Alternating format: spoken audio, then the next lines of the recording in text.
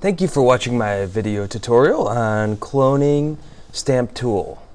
Um, I'm going to use this tool to help with my hybrid animal. I'm going to show you how. Um, but first I want to open up my uh, file. So I'm going to go ahead and go to um, my documents where I saved it last, or my T drive.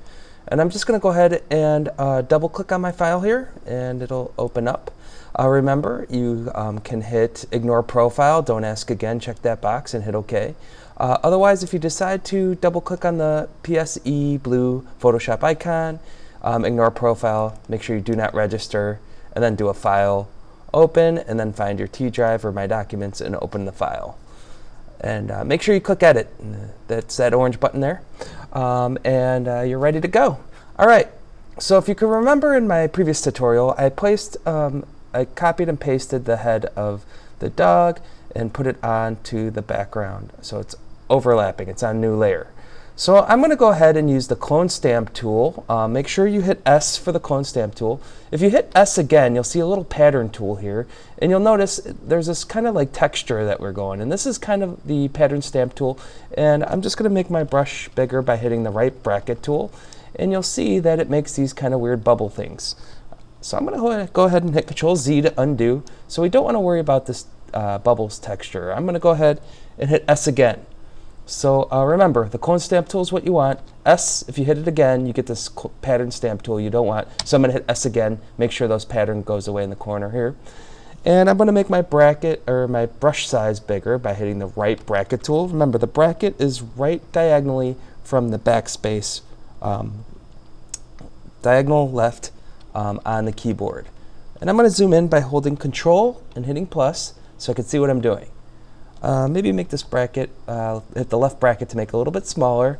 And you'll notice there's some extra space here and maybe a little bit here that I want to fix. So it looks like the head fits nicely and there's no extra space from the original image from the hawk, okay? So I'm going to go ahead and make sure I'm on the correct layer, which is layer one, okay, that dog head. You'll see that in the thumbnail. And I'm going to go ahead and establish my source point. If you don't establish your source point and just click, an error is going to come up. And it'll say, could not use the clone stamp tool because the uh, you need to define the source point by alt-clicking. Okay, so make sure you're in the correct layer. So I'm in the dog head layer. And um, I'm just going to go ahead and um, go to the background because I want to select this background to go over this area right here. So I'm in the background picture. I'm going to make my bracket just a little bit smaller. Hold the Alt key. You see it turns into a target. So I'm holding the Alt key and I just click once. Okay, so it's in that background. And then I'm just going to go ahead and click and drag, and you'll notice that it's getting rid of that area here.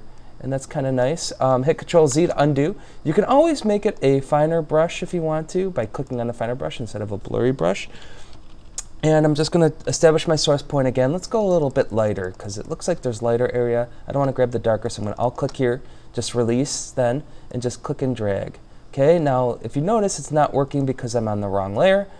It's a mistake. So I'm going to undo, make sure I click on the background layer, establish my area by alt-clicking, release, and then I'm just going to go ahead and drag this area. Now I'm going to undo because that doesn't look right. I'm going to zoom in just a little bit more and just uh, wrong layer. So make sure I'm on the background layer.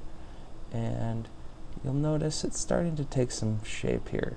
Okay, and you'll see there's kind of some rough edges. So I'm just going to go to the R or um, smudge tool R is the shortcut. If I hit R again, get this kind of blur tool.